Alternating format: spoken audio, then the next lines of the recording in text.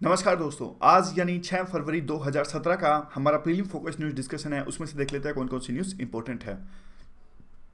सबसे पहले देखिए फ्रंट पेज पे एक न्यूज़ इंपॉर्टेंट है। एचआरडी मिनिस्ट्री जो कि एजुकेशन से डील करती है, उन्होंने सेंट्रल गवर्नमेंट की उस डिसीज़न का विरोध किया है, जिसमें सेंट्रल गवर्नमेंट इकतीस स्कीम्स को लिंक करना चाहता था आधार कार्ड नंबर से। इन स्कीम्स में वो सब स्कीम्स आती हैं जिस प्रकार से direct cash transfer food food subsidy जो कि नेशनल फ़ूड सिक्योरिटी एक्ट के अंदर में आता है या फिर मंथली ऑनरेरियम दिया जाता है आंगनवाड़ी वर्कर्स को इंटीग्रेटेड चाइल्ड डेवलपमेंट सर्विसेज़ के अंदर में या फिर सब्सिडी दी जाती है हाउसिंग लोन्स पर प्रधानमंत्री आवास योजना के अंतर्गत।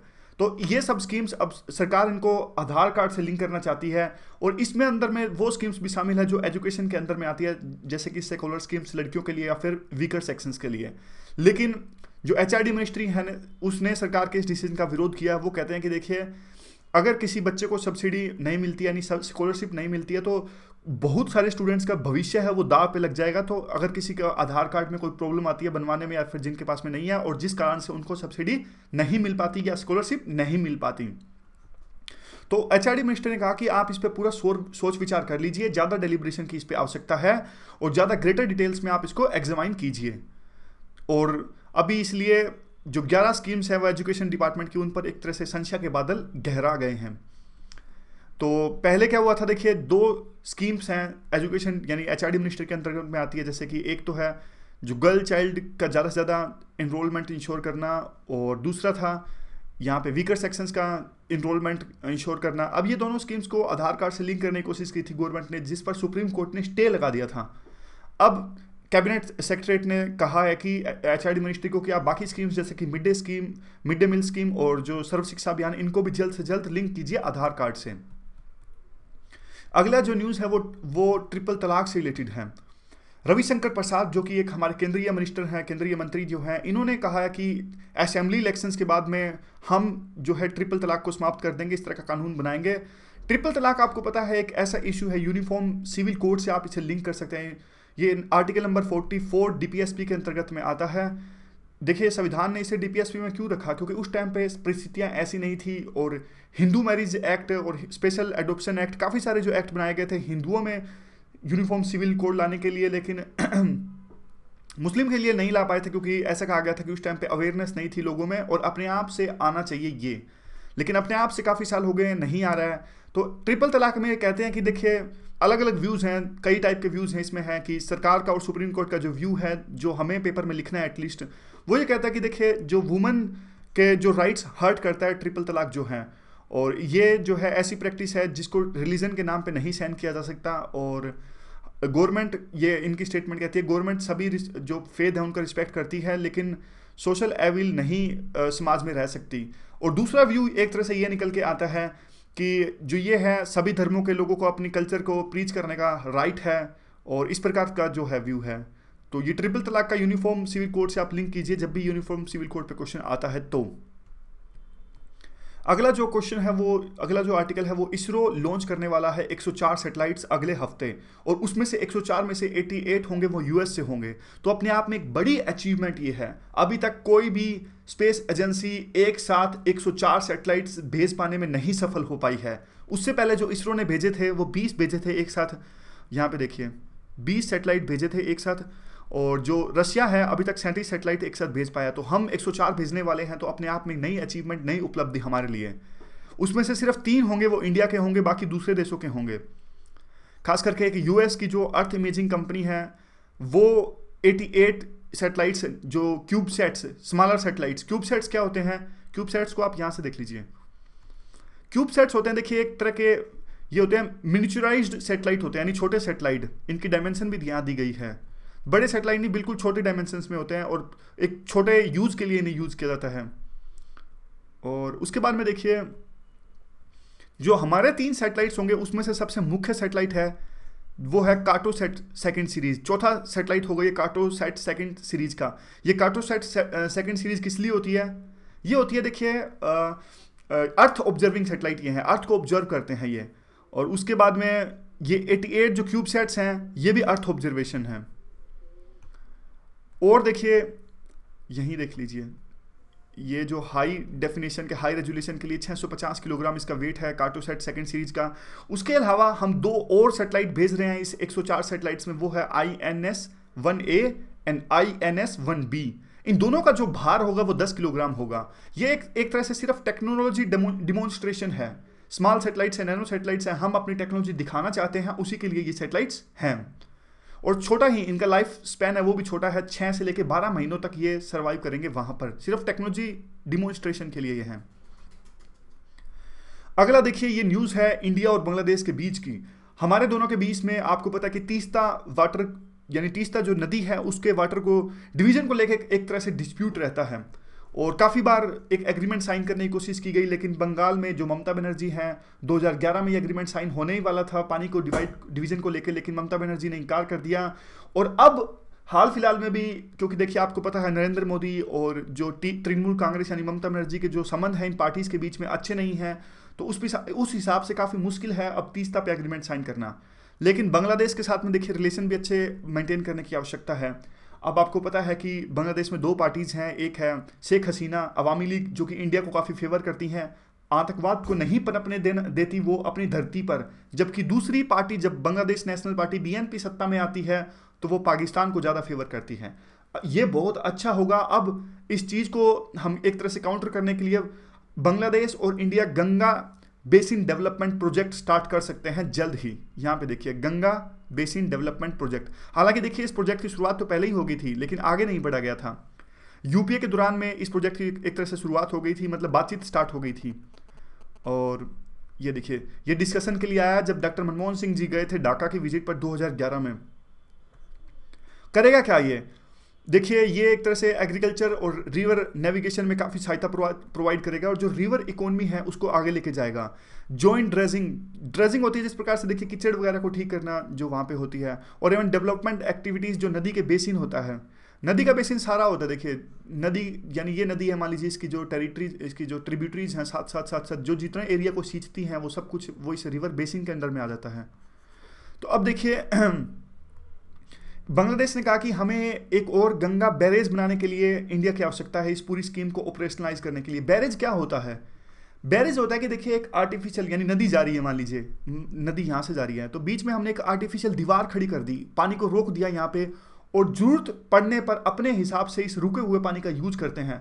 तो इंडिया ने एक फरक्का बैरेज बना रखा है गंगा नदी पर, और बांग्लादेश काफ़ी बार आरोप लगाता है कि इस इस बैरेज के वजह से काफ़ी मुश्किल का सामना करना पड़ता है बांग्लादेश के किसानों को।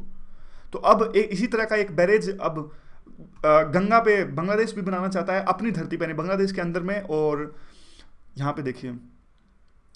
अब जो बैरेज बनेगा ये ये वाटर को जो फरक्का बैरेज से अगर हम पानी छोड़ेंगे तो ये बांग्लादेश में गंगा बैरेज है जो ये बनाएँगे, वो ये पानी रोक लेगा और इससे बाढ़ वगैरह यानी फ्लड नहीं आएगी। और अपने हिसाब से वो इसको यूज़ करेंगे तो एरिडिटी है वहाँ पर, यानी वहाँ की जो फर्टिलिटी है वो भी इम्प्रूव होगी। बांग्लादेश काफ़ी बार इंडिया पर आरोप लगाता है कि फ़रक्का बैरेज जो है वो हमारी मुश्किलों के लिए जिम्मेदार है। और इसके लिए गंगा बैरेज एक तरह से जो लोअर रिपेरियन जो सिस्टम है, यानी नीचे जो किसान हैं वो भी, वो उनको भी फ़ायदा होगा और वो भी अपना जो है खेत सींच सकेंगे। अगर ऐसा होता है तो देखिए अब आने, ये अगले हफ़्ते या जब भी देखिए जो विज़िट इनकी तय होती है, अभी तक फिक्स नहीं हुई। शेख हसीना हमारे देश की विज़िट पर आने वाली है। अगर ऐसा हो जाता है तो काफ़ी एक सिग्निफिकेंस है ये, क्योंकि हमारे देशों के रिलेशंस और ज़्यादा अच्छे होंगे और इलेक्शंस होने वाले हैं बांग्लादेश के अंदर में। तो वहाँ पे वो कुछ तो लेके जाएँगी। मतलब कई बार आरोप लगता है ओपोजिशन पार्टीज़ आरोप लगाती है, वहाँ पे बांग्लादेश में इंडिया पे कि इंडिया जो है हमारे हितों के खिलाफ है। अगर इस तरह का प्रोजेक्ट साइन होता है तो कम से कम एक अच्छी सॉफ्ट पावर मेंटेन रहेगी हमारी बांग्लादेश के अंदर में। अगला देखिए जो आर्टिकल है ये ट्रंप से रिलेटेड ही है। कोई खास नहीं इसमें। ट्रंप ने जो ऑर्डर दिया था कि मुस्लिम, सात मुस्लिम कंट्रीज़ से जो नागरिक नहीं आ सकते यूएस के अंदर में, उस पर रोक लगा थी थी एक फेडरल जज ने सियाटल के फेडरल जज ने इस पर रोक लगा दी थी, जिस पे अपील की थी ट्रंप ने, अब वो अपील भी रिजेक्ट हो गई है। यानी एक तरह से विंडो अभी भी खुली है स्टेटस को अभी भी मेंटेन है। काफ़ी सारे ऐसे लोग जो बाकी के सात देशों से आने वाले थे वो बीच में अटक गए थे। क्योंकि एकदम से यूएस गवर्नमेंट ने ये ट्रंप के कहने पर ट्रंप जो प्रेसिडेंट है उन्होंने ये जो है बैन इंप्लीमेंट किया था तो बीच में लोग फंस गए थे। तो एक तरह से अब विंडो दोबारा से खुली है तो कुछ सेक्शंस का ऐसा कहना है कि जल्द से जल्द लो, जो लोग आना चाहते हैं वो जल्द से आए क्योंकि अभी ट्रंप फिर से कुछ कोशिश करेंगे ताकि इस बैन को इंप्लीमेंट किया जा सके। अगला जो एक बिज़नेस पेज पे आर्टिकल है ये इंपॉर्टेंट है देखिए गिफ्ट टैक्स को लेके।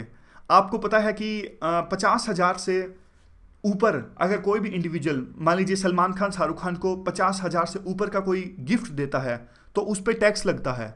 लेकिन इसका लूप होल लोगों ने निकाल लिया। इसका लूप होल कैसे निकाला कि कंपनीज़ अगर कोई ऐसा गिफ्ट अपने एम्प्लॉयज़ को देती है तो उस पर टैक्स नहीं लगता। तो गवर्नमेंट ने इस बजट में चेंज कर दिया अमेंड कर दिया इनकम टैक्स एक्ट को। गवर्नमेंट ने कहा अब ये गिफ्ट जो टैक्स है, वो कंपनी जो अपने एम्प्लॉयज़ को देती है, उस पर भी लागू होगा। यानी कंपनी जो गिफ्ट देती है अपने एम्प्लॉयज़ को, उस पर भी टैक्स चुकाना होगा। तो बस यही पूरा आर्टिकल है। ये कहते हैं कि देखिए, काफ़ी बार सरकार को एक तरह से एक्टिव रहने की आवश्यकता होती है। ये एक्चुअली इंटरव्यू है एक सेक्रेटरी के साथ। फाइनेंस मिनिस्ट्री के एक सेक्रेटरी है, उनके साथ में इंटरव्यू है। वो कहते हैं कि देखिए, जो है लोग ना लूप होल ढूंढ लेते हैं। तो सरकार को ना टाइमली एक्टिव रहना चाहिए ताकि वो टाइम टू टाइम जो लूप होल्स हैं उनको प्लग कर सके और नए जो है वो कानून बनाते रहें ताकि लोग टैक्स चोरी ना कर सकें। अगला जो आर्टिकल आता है वो बिज़नेस पेज पे ही है। ये रिलेटेड है कि क्या बजट सहायता प्रोवाइड करेगा फार्मर्स को कि उनकी इनकम डबल हो जाए? तो ये उससे रिलेटेड आर्टिकल है। तो देखिए, काफ़ी सारा डेटा है इसमें जिस प्रकार से एक जो असेसमेंट सर्वे है एग्रीकल्चर हाउस होल्ड्स का एनएसएस द्वारा सत्रहवें राउंड में किया गया था। उसमें पता लगाया कि जो इनकम है फार्मर्स की वो है छः हज़ार चार सौ छब्बीस रुपये और ये कहते हैं कि देखिए, काफ़ी सारा जो इनका एक्सपेंडिचर होता है, वो होता है छः हज़ार दो सौ तेईस रुपये तो सारा खर्चा तो एक्सपेंडिचर में ही चला गया। बाकी जो खेत के लिए पेस्टिसाइड्स या फिर बीज वगैरह की आवश्यकता होती है, वो फार्मर्स लेते हैं कर्ज लेके। तो एक तरह से जो फार्मर्स है, वो कर्ज के बोझ तले दब जाते हैं। तो इसी से रिलेटेड ये आर्टिकल है और आगे भी काफ़ी सारे रीजन्स काफ़ी सारी इंपॉर्टेंट बातें इसमें डिस्कस की गई हैं। ये कहते हैं कि देखिए ज़्यादा रिटर्न्स इनको नहीं मिल पाता फार्मर्स को। अगर उनकी इनकम को डबल करना है पाँच सालों में तो रिटर्न्स इनको अच्छे मिलनी चाहिए। और अभी बहुत टाइम हो चुका है, जिस प्रकार से नेशनल कमीशन फॉर फार्मर्स एक आया था, स्वामीनाथन की रिपोर्ट आई थी, जिसमें उन्होंने कहा था कि मिनिमम जिस प्रकार से देखिए पल्सिस के लिए कॉस्ट ऑफ़ प्रोडक्शन है। कॉस्ट ऑफ़ प्रोडक्शन जितना होता है, यानी जितना खर्चा किसानों को आता है खेती करने में जब रिटर्न्स की बारी आए तो जितना खर्चा आया उसका 50 परसेंट प्रॉफिट मिलना चाहिए किसानों को और अब इस बात को, इस रिपोर्ट को इम्प्लीमेंट करने की आवश्यकता है। और एग्रीकल्चर क्रेडिट की हम बात करें तो वो भी किसानों को उचित रूप से नहीं मिल पाता। महिलाएँ हैं पचास परसेंट जो किसान हैं, लेकिन इनको भी जो क्रेडिट पॉलिसी से जो बेनिफिट नहीं मिल पाता। और इनपुट के जो प्राइसेस हैं, यानी जो रेट हैं, वो भी काफ़ी बढ़ते जा रहे हैं। यानी कि पेस्टिसाइड्स के रेट बीज के रेट्स अगर देखिए ड्रोट प्रूफिंग फ़ार्मिंग की अगर बात करें तो ये देखिए, इस बार सेंट्रल गवर्नमेंट ने दो तीन प्रावधान किए हैं। क्लाइमेट चेंज और ये सब बढ़ता जा रहा है तो काफ़ी बैक टू बैक ड्रोट आए थे तो इस बार सरकार ने पाँच लाख फार्म पोन्ट्स बनाने की जो कहा, एक बजट रखा है उसके लिए तो वो एक अच्छी चीज़ है, इससे कुछ ना कुछ तो सहायता मिलेगी। लेकिन क्लाइमेट चेंज जो बार बार होता है, जो अगर देखिए, जो हमारा वेदर है वो एक तरह से इरेगुलर रहता है, कभी जो है बारिश ज़्यादा आती है, कभी कम आती है तो उसके लिए जो प्रधानमंत्री कृषि बीमा योजना है, वो एक तरह से सफल रूप से काम नहीं कर पाई और बहुत कम किसान इसका फ़ायदा उठा पाए हैं। फिर आता है कि जो नेशनल एडोप्टेशन फंड है क्लाइमेट चेंज के लिए 350 करोड़ इसके लिए प्रावधान रखा है 2015-16 में और 2016-17 में। लेकिन इसमें से काफ़ी कम एलोकेट किया, सिर्फ़ 130 करोड़ एलोकेट किया गया है इस 2017-18 के बजट में तो वो भी एक तरह से चिंता का विषय है। उसके बाद में सरकार ने कुछ और प्रावधान रखे हैं जिस प्रकार से नबार्ड नबार्ड के लिए पिछले साल जो इरिगेशन फंड बनाया था बीस हज़ार करोड़ का, इस बार सरकार ने उसका साइज़ बढ़ा के चालीस हज़ार करोड़ कर दिया है। अच्छी बात है। एक और प्रोविज़न सरकार ने रखा कि dairy processing and infrastructure development fund NABARD, इसका भी कॉर्पस बढ़ा के सरकार ने आठ हज़ार करोड़ कर दिया, जो भी एक अच्छी बात है। लेकिन जो ड्रिप एरीगेशन है, उसका एक तरह से एक्सपेंशन नहीं हो पा रहा है। कहीं ना कहीं फिर पानी का वेस्टेज होगा और ज़्यादा जो है खेती प्रभावित होगी। और देखिए, बाद में कहते हैं कि हमारे किसान जो है ना, एक होमोजीनियस कम्युनिटी नहीं है। हर तरह के किसान हैं, कोई कोई अमीर किसान है, कोई लैंड ओनिंग जिनके पास में काफ़ी तरह से लैंड हैं, वो मार्जिनल जो मजदूर हैं, उनसे खेती करवाते हैं। कुछ किसान पुअर हैं, कुछ लैंडलेस है। लेकिन अब क्या है, एक तरह से नेक्सस देखने को मिल रहा है। एक बड़े फार्म कॉन्ट्रैक्टर्स के बीच में, बड़े या फिर बिग ट्रेडर्स के बीच में या फिर रिच लैंड ओनर्स के बीच में रूरल इंडिया में। और इसमें जो है पिस जाते हैं छोटे किसान, यानी जो जिनके पास में लैंड नहीं होता या फिर जो काफ़ी गरीब किसान होते हैं। और वही जो अमीर किसान, जो जो नेक्सस है, वही फ़ायदा उठाते हैं आमतौर पर बजट में जो स्कीम्स चलाई जाती हैं गवर्नमेंट के द्वारा। तो आगे जो पीआईबी की न्यूज़ है, इसमें देखते हैं क्या है। हेल्थ मिनिस्ट्री ने एक वैक्सीन चलाई है ड्यूल प्रोटेक्शन के लिए कौन कौन से देखिए? मिजल्स और रूबेला दो डिज़ीज़ हैं, ये याद रखिएगा। इनमें इम्यूनिटी देने के लिए, यानी यूनिवर्सल इम्यूनाइजेशन प्रोग्राम के पार्ट ये हैं और दोनों के लिए एक वैक्सीन बनाई है मिजल्स और रूबेला तो इस प्रकार से क्वेश्चन आता है प्रीलिम में कि in the recent government started government made a new vaccine for the two disease what are the names of two disease तो मिजेला रूबेला कुछ और डिज़ीज़ दे देंगे। तो ये दोनों का नाम आप याद रखिएगा। इन दोनों के लिए एक सिंगल वैक्सीन अब गवर्नमेंट ने चलाई है। और ये लॉन्च की थी, ये ministry of health and family welfare ने इसे लॉन्च की कंट्री में बेंगलोर में इसे लॉन्च की गई और बाकी और भी स्टेट्स में इन्हें चलाया जाएगा, जैसे कि कर्नाटका तमिलनाडु पुडुचेरी गोवा एंड लक्षद्वीप और अगली जो न्यूज़ है, वो पीआईबी की है। प्रधानमंत्री ने कोनेचुलेट किया महाबोधि इंटरनेशनल मेडिटेशन सेंटर को। तो देखिए, आप ये याद रखिएगा कि महाबोधि इंटरनेशनल मेडिटेशन सेंटर कहाँ है? लेह लद्दाख में है। क्योंकि लेह लद्दाख से रिलेटेड काफ़ी क्वेश्चंस पूछे जाते हैं प्रीलिम में तो यहाँ पे जो इंपॉर्टेंट मोनेस्ट्रीज हैं या फिर जो ये इंटरनेशनल मेडिटेशन सेंटर्स हैं, इनका हमें पता होना चाहिए। वो कई बार match match of the following करवाते हैं। महाबोधि इंटरनेशनल मेडिटेशन सेंटर्स के बराबर में कुछ लिख देंगे। क्या ये हिमाचल में है? नहीं। हमें याद रखना ये लेह लद्दाख में है। और महाकरुणा दिवस, ये एक तरह से बुद्धिज्म से रिलेटेड है। और भगवान जो बुद्ध के लिए शांति का संदेश है, वो पूरे दुनिया में फैलाने के लिए बनाया जाता है। आज की जो इन्वायरमेंट की स्कीम है, वो है मीनामाटा कन्वेंशन ऑन मरकरी ये एक तरह से इंटरनेशनल ट्रीटी है यूएन की ये ट्रीटी है 2013 में साइन की गई थी। ये करती क्या है? देखिए, ये ह्यूमन हेल्थ को और बचाती है।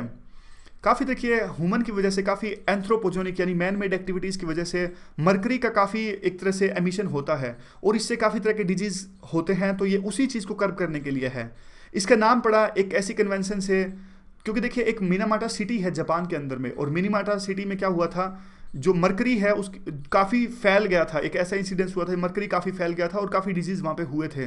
तो इसीलिए इस पूरी कन्वेंशन का नाम पड़ा मीनामाटा, जो कि जापान में एक ऐसी सिटी है जहाँ पे मरकरी के फैलने से काफ़ी एक तरह से डिज़ीज़ हुए थे और गंभीर स्थिति वहाँ पे पैदा हुई थी। तो उसी प्रकार ये मीनामाटा जो कन्वेंशन है, वो रोकती है कि मैन मेड यानी मैन मेड एक्टिविटीज़ की वजह से जो एनवायरमेंट में जो मरकरी का एमिशन है, वो ना हो। तो ये देख लीजिए, ये इंटरनेशनल एग्रीमेंट मरकरी के एमिशन को रोकेगा और पोल्यूशन को रोक, मरकरी के पोल्यूशन को रोकेगा। जो आज की स्कीम क्या है हमारी?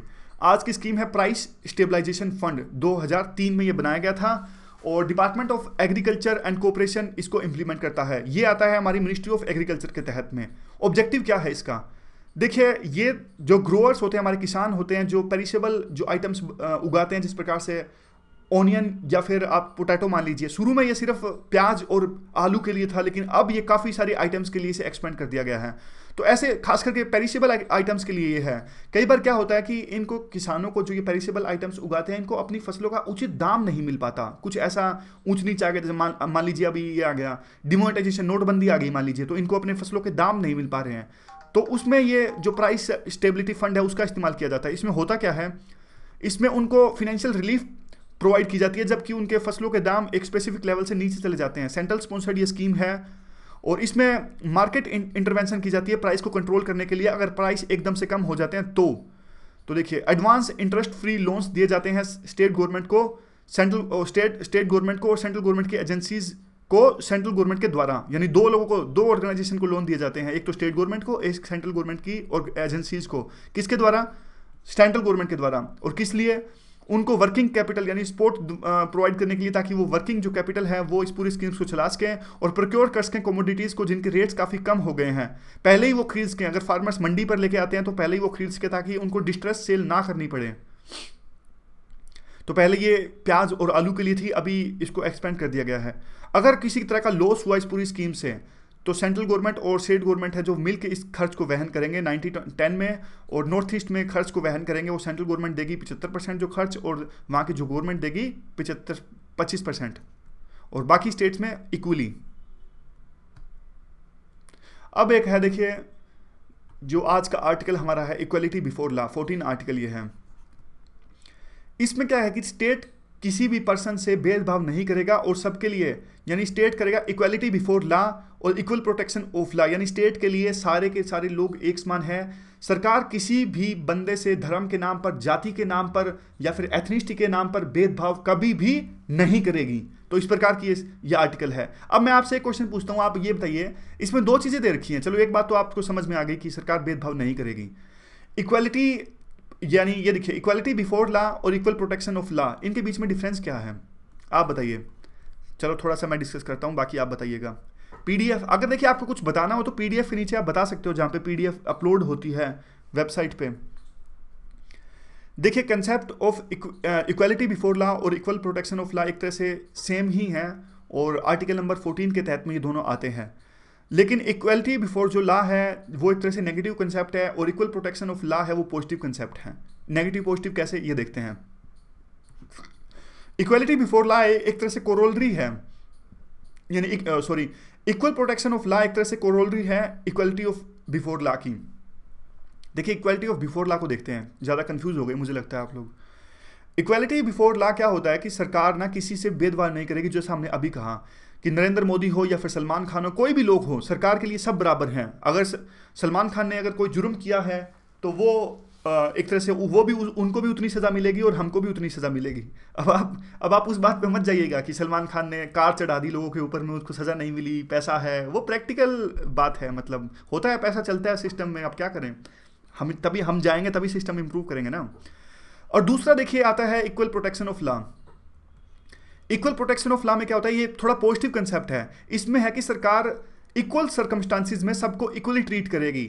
अब देखिए, उसी के तहत में सरकार ने अब कोटा दिया, कोटा वगैरह दिया कि जो लोग देखिए, जिन लोगों के साथ में शुरू में अन्याय हुआ कि कुछ जैसे हमारे में रिजर्वेशन सिस्टम है, कहते हैं कि कुछ लोगों के साथ में पुराने टाइम में काफ़ी अन्याय हुआ था तो उसी के तहत में सरकार ने रिजर्वेशन दिया है ताकि उनके आज सरकमस्टांसिस अलग हैं। जिस सरकमस्टांसिस में उन्होंने बचपन में पढ़ाई करी या फिर उनके जो पूर्वजों के साथ में गलत व्यवहार हुआ तो उस तरह से यह डील करता है equal equal protection of law यानी इक्वल प्रोटेक्शन ऑफ़ लॉ ये है कि सरकार सभी लोगों को सरकमस्टांसिस के हिसाब से डील करेगी, सबको एक पैमाने पर नहीं नापेगी। अब जैसे एग्ज़ाम्पल ले लीजिए, मान लीजिए ये कुछ लोग, जैसे इक्वल प्रोटेक्शन ऑफ़ लॉ के लिए समझाने के लिए एग्ज़ाम्पल दिया जाता है। और जैसे मान लीजिए एक एक दिव्यांग है। दिव्यांग है और मान लीजिए एक दूसरा पर्सन है। सेम लाइन से स्टार्ट नहीं कर सकते। तो दिव्यांग को डिसएडवांटेज है क्योंकि थोड़ा वो चलने चलने में उनको दिक्कत है। तो अगर सेम लाइन से चलेंगे तो आगे जाने में उनको दिक्कत होगी तो वो हार जाएँगे। इसलिए उनको थोड़ा एडवांटेज देने की आवश्यकता है। तो सर्कमस्टांसिस दोनों के लिए अलग अलग हैं, इसलिए दोनों को सेम ट्रीट नहीं किया जा सकता। तो ये है इक्वल प्रोटेक्शन ऑफ़ लॉ एक तरह से ये पॉजिटिव कंसेप्ट है। अब आता है जो हमारे अगस्त के करंट अफेयर्स हैं। तो आज का है ये जो टॉपिक्स हैं तीन चार टॉपिक्स है गिफ्ट मिल्क स्कीम केंद्र सरकार ने यह स्कीम प्रपोजल को अप्रूव किया था, जिसके तहत में उनको एक तरह से ऐसे इंस्टीट्यूशंस को बनाना था जो कि न्यूट्रिशन को प्रमोट करें मिल्क के सहायता से, यानी मिल्क को प्रमोट करें जिससे न्यूट्रिशन मिलता है, खास करके बच्चों को। और इसे इंप्लीमेंट किया जाएगा कॉरपोरेट सोशल रिस्पॉन्सिबिलिटी फंड से, जो कि एनडीडीबी में नेशनल डेयरी डेवलपमेंट बोर्ड में आएँगे। यानी कॉरपोरेट्स पैसा देंगे नेशनल डेयरी डेवलपमेंट बोर्ड को और फिर आगे वो इस तरह की दूध वाली स्कीम्स चलाएँगे जिससे न्यूट्रिशन मिलेगा बच्चों को। और देखिए फ्री ऑफ़ कॉस्ट मिल्क मिलेगा इसमें और इसमें देखिए, ये इंपॉर्टेंट है कि जो नेशनल डेयरी डेवलपमेंट बोर्ड है, ये क्या है? तो ये देख लीजिए, एक तरह से जो नेशनल डेवलपमेंट बोर्ड है, एक इंस्टीट्यूशन है नेशनल इंपॉर्टेंस का पार्लियामेंट के एक्ट के तहत इसे बनाया गया था तो एक तरह से ये स्टेचुरी इंस्टीट्यूशन है। आप ये याद रखिएगा स्टेचुरी एक्ट के तहत इसे बनाया गया था। और ऑब्जेक्टिव क्या है इसका एनडीडीबी का? एक्सप्लोटेशन रोकता है और इंपावर करता है किसानों को, जो कि दूध वगैरह के व्यवसाय से डील करते हैं। तो ये आज का था। आगे चलते हैं अगस्त का ही। एक दूसरा कैंपेन था माई हॉस्पिटल माई अस्पताल इनिशिएटिव ये अगस्त का ही, अगस्त में न्यूज़ में था। तो इसमें तो ज़्यादा नहीं, इसमें क्या है? Ministry of health family welfare द्वारा ये चलाया गया है। इसमें जो रोग अस्पताल में एडमिट होंगे, उससे सरकार पूछेगी। काफ़ी माध्यमों से, जैसे मोबाइल या फिर दूसरे माध्यमों से। कि आपका कैसा एक्सपीरियंस रहा अस्पताल में, ताकि आप फीडबैक दीजिए, ताकि अस्पताल में इंप्रूवमेंट लाई जा सके। इंटरेक्टिव वॉइस रिस्पॉन्स सिस्टम भी आईवीआरएस की सहायता भी ली जाएगी। आईवीआरएस सिस्टम क्या होता है? वो नहीं होता, वो कंप्यूटर में एक कंप्यूटर बोलता है, आपका एक्सपीरियंस कैसा रहा, कितने स्टार आप देना चाहेंगे? इस प्रकार का जो कई बार कस्टमर केयर से हम बात करते हैं तो कंप्यूटर बोलता है बाद में। वो होता है IVRS सिस्टम तो आगे है ग्ली ग्लोबल ग्रीन अवार्ड ये क्या होता है? ग्लोबल ग्रीन अवार्ड ये होता है कि देखिए international union for conservation of nature ये IUCN जो होता है, हमने इसको डिस्कस किया था। इसने एक अवार्ड दिया है ध्रुवा ज्योति घोष को। इन्होंने कौन सा अवार्ड दिया है इस ध्रुवा ज्योति घोष जी को? लुक होफमैन अवार्ड तो याद रखिएगा लुक होफमैन अवार्ड इन्होंने क्या काम किया था? देखिए, इन्होंने ईस्ट ईस्ट कोलकाता में एक वेटलैंड है तो इन्होंने यह मापा कि क्या जो जिस प्रकार से ये वेटलैंड है, वो डिग्रेड हो रहा है तो कितनी इकोनॉमिक कॉस्ट इसकी होएगी? इस तरह की चीज़ों से क्या होता है कि जीडीपी में हम अनुमान लगा सकते हैं कि कितना इकोनॉमी लॉस हो रहा है इस वेटलैंड के डिग्रेड होने से। और इसके बाद इन्होंने यह भी अनुमान लगाया कि जो सिटी गार्बेज है, यानी सिटी का कचरा है, जो वेटलैंड पे पहुँचता है तो उससे कितना नुकसान पहुंचेगा वेटलैंड को। ये ईस्टर्न कोलकाता का जो वेटलैंड है, वो रामासार कन्वेंशन के अंतर्गत आता है। यहाँ पे देख लीजिए, और कौन कौन से जो वेटलैंड हैं, जो आते हैं रामासार कन्वेंशन के अंदर में, ये देखिए, ये ईस्टर्न कोलकाता है। और ये लोकतक लेक है, भोज वेटलैंड है, ये देखिए, काफ़ी सारे हैं। सारे तो याद नहीं कर सकते मेनली सबसे पहले तो हमें रामासर कन्वेंशन का ही पता होना चाहिए। आएगा अब, कल परसों यही डिस्कस करनी है रामासर कन्वेंशन तो आज ही सारी डिस्कशन हो गई और मैं अभी बहुत ज़्यादा थक गया बोल बोल के। तो आज की डिस्कशन में बस इतना ही। Thank you thank you very much for discussion